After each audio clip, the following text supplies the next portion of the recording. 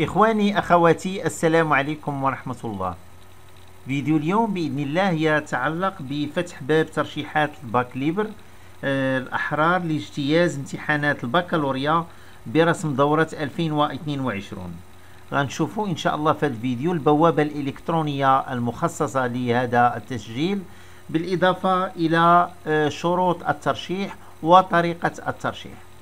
فللإشارة يجب التذكير بأنه التسجيل في آه، ال bac libre سينطلق يوم الاثنين فاتح نوفمبر 2021 آخر أجل هو 30 نوفمبر 2021 إذا غنشوفوا الخبر. تعلن وزارة التربية الوطنية والتعليم الأولي والرياضة أن عملية إيداع ترشيحات الأحرار لاجتياز امتحانات البكالوريا برسم دورة 2022 ستنطلق يوم الاثنين فاتح نوفمبر 2021 حصريا على البوابة الإلكترونية للوزارة اللي هي candidature.bac.min.gov.ma غنخليها لكم في صندوق الوصف. وستستمر إلى غاية يوم ثلاثاء 30 نوفمبر 2021 كآخر أجل للترشيح. يعني هناك شهر كامل. ويجدر التذكير بأن الترشيح لاجتياز امتحانات البكالوريا برسم دورة 2022 بصفة مترشح حر يخضع للشروط التالية إنهاء الدراسة بالسلك الثانوي الإعدادي منذ ما لا يقل عن سنتين في بداية سنة الترشيح بالنسبة لغير الحاصلين على البكالوريا في دورات سابقة. الترشيح في مسلك لم يسبق الحصول فيه على شهادة البكالوريا بالنسبة للحاصلين على هذه الشهادة في إحدى الدورات السابقة. ألا يكون المترشح الحر قد تغيب عن اجتياز اختبارات الخاصة بهذه الامتحانات خلال دورة من دورات السنوات الماضية بدون مبرر مقبول. وفي هذه الحالة لا يقبل الترشيح إلا بعد انصرام سنتين عن آخر دورة تغيب فيها المترشح. ألا يتجاوز عدد الدورات التي اجتازها المترشح ثلاث دورات متتالية. وفي حالة استنفادها لا يمكن الترشيح مجددا إلا بعد انصرام سنتين عن آخر دورة اجتازها المترشح. شرط آخر التسجيل عبر البوابة الإلكترونية المخصصة للترشيحات داخل الأجل المحددة لذلك واللي هي آه، بداية من أول شهر نوفمبر إلى 30 نوفمبر. مع تضمين البطاقة الإلكترونية للترشيح صورة حديثة العهد للمترشح أو المترشحة. إيداع ملف الترشيح الورقي بالمديرية الإقليمية التابع لها محل سكن المترشح العنوان فين ساكن وذلك في أجل أقصاه 3 دجنبر 2021 على أن يرفق هذا الملف بوصل الترشيح المستخرج من البوابة الإلكترونية. يعني البوابة الإلكترونية من بعد ما غنملئوا آه البيانات ديالنا وغنرفقوا الوثائق ديالنا خصنا نتيليشارجيو هذاك الوصل داك الغوسو بالإضافة إلى تضمين ملف الترشيح التزاما مصادق على صحة توقيعه يقر فيه المترشح باطلاعه على القوانين الخاصة بزجر الغش في الامتحانات المدرسية والتزامه بمقتضياتها.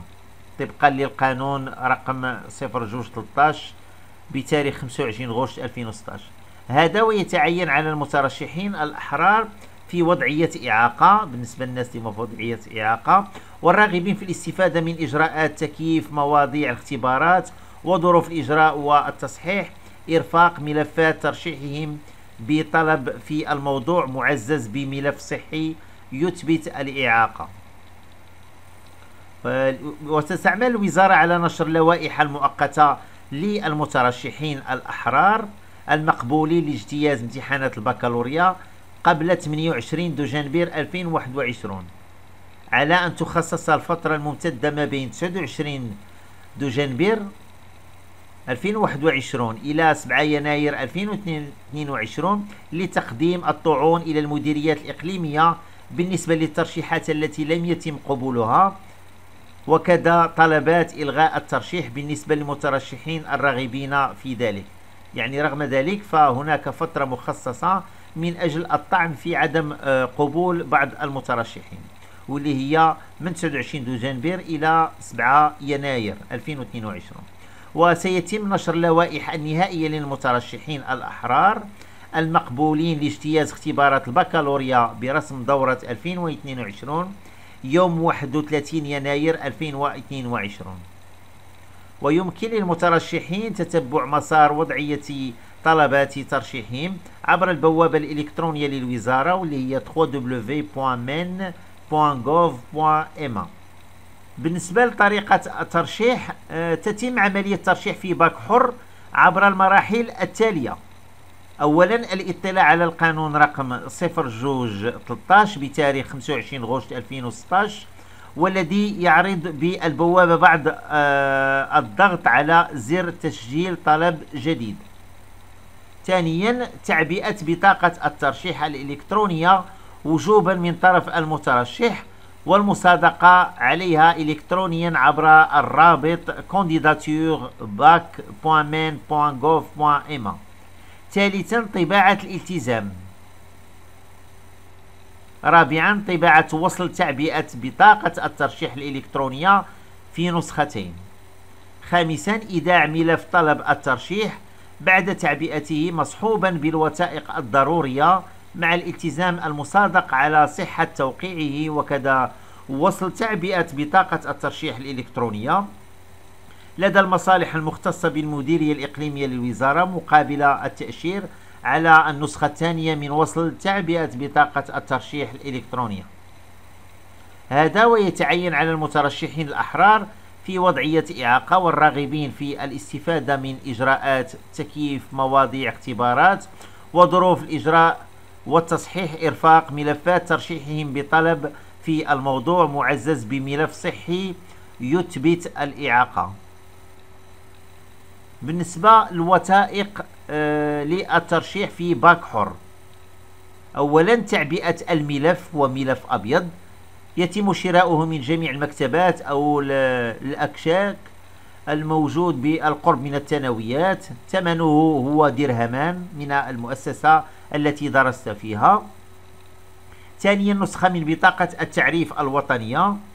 ثالثا شهادة السكنة. رابعا صورتان.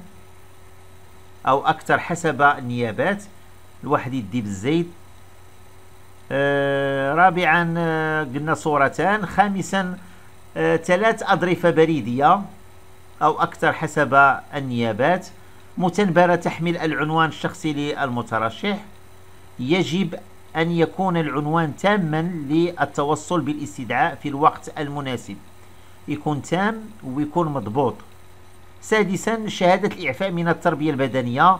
الناس اللي ما, ما كيبغيوش يستاجوا امتحان ديال آه، الرياضة. مسلمة من لدن مصالح الصحة المدرسية بالنسبة للراغبين في ذلك.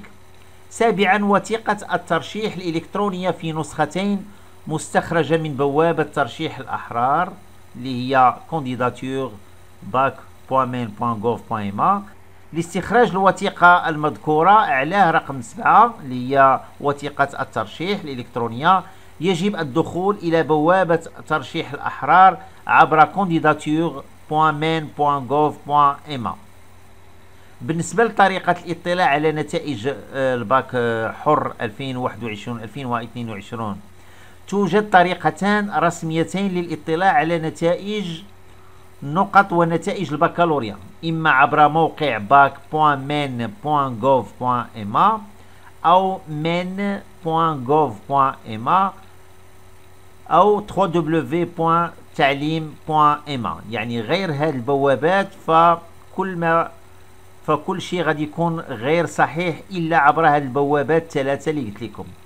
بالنسبة لنتائج باك حر بالنسبة لموقع الأول يجب عليك التوفر على رقم المسار. شيء طبيعي لأن غادي يطلب لك رقم المسار باش تشوف النتيجة ديالك واش النتيجة ديالك. أه واستعماله في الإطار المخصص رقم بالضغط على بحث وسوف تظهر لك النتيجة.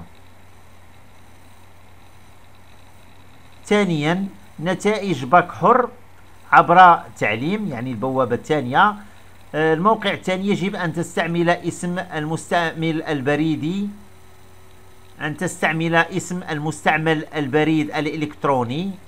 كود مسار arobase تعليم MA والرقم السري المسلم من طرف إدارة المؤسسة لمن لم يقم بتغييره أو القن الجديد يعني الكود جديد لمن قام بتغييره. بتفعيلكم البريد الإلكتروني ستمكنون من الحصول على نتائج البكالوريا مباشرة على تعليم point MA. بالنسبة لكيفية تسجيل الدخول إلى تعليم point MA والاطلاع على باك حر العملية سهلة جدا. اتبع فقط الخطوات التالية لتفعيل بريدك الإلكتروني. كود مسار arobase تعليم point MA. قم بالولوج إلى الرابط هذا مسار.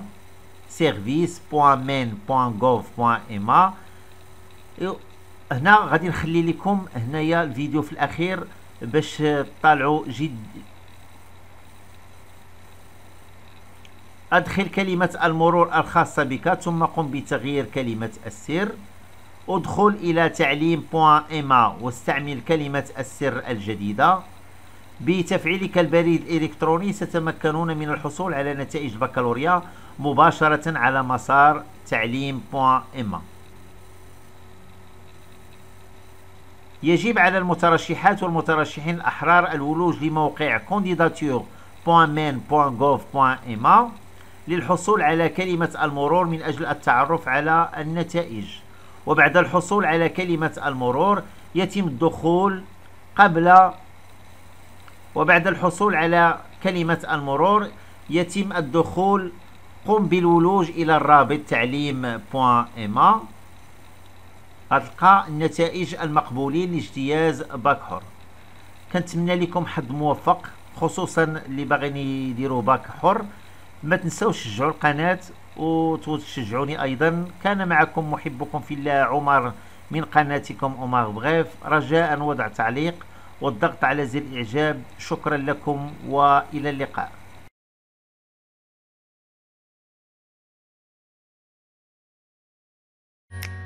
إن أعجبك الفيديو لا تنسى الإعجاب والاشتراك في القناة.